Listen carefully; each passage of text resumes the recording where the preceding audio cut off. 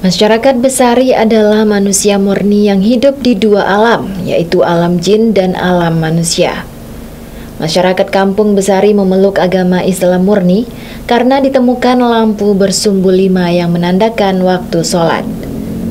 Dahulu kerajaan ini merupakan kerajaan milik anak datok kerajaan Gangga yang kelima, yang istrinya melahirkan anak dengan tidak sempurna, tanpa tangan dan kaki, sehingga datok kerajaan Gangga memutuskan membawa sang anak untuk diasingkan ke Bukit Murmas, barat air terjun Kertagangga dan di sanalah tempat dipelihara anak tersebut.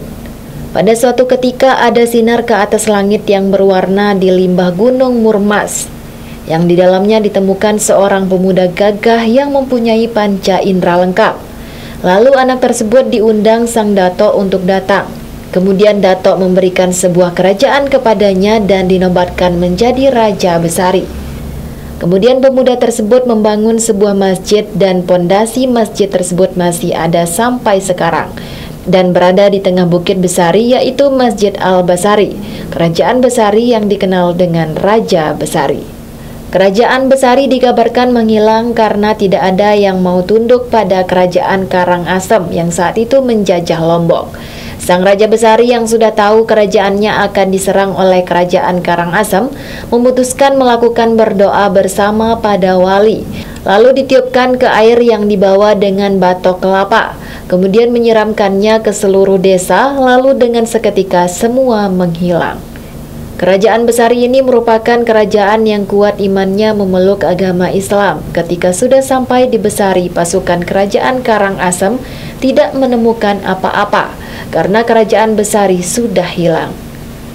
Dalam menguatkan keberadaan kampung Besari ini dan merupakan keturunan kerajaan Gangga, masih tersimpan banyak peninggalan di antaranya jungkat atau tombak perang, baju rompi, keris, daun lontar, dan terutama sebuah Al-Quran, kitab khutbah Jumat. Peninggalan tersebut masih tersimpan di salah seorang tetua adat di Dusun Kerta, yaitu Amak Kolit.